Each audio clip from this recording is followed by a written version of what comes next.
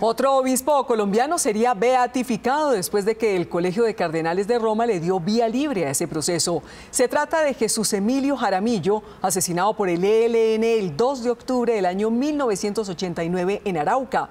El anuncio oficial podría hacerlo el Papa Francisco antes de su visita a Colombia.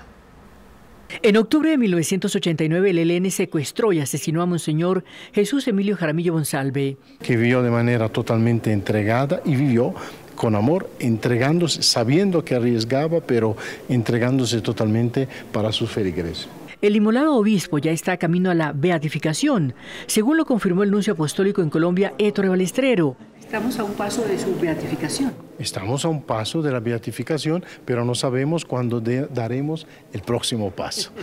esperamos de darlo pronto. Los miembros de la Congregación de la Causa de los Santos examinaron la vida de Monseñor Jaramillo Monsalve de cómo vivió, de que haya vivido las virtudes humanas y las espirituales, las de manera no solo buena, sino heroica, que haya se pueda caracterizar la manera en la cual fue matado como un martirio.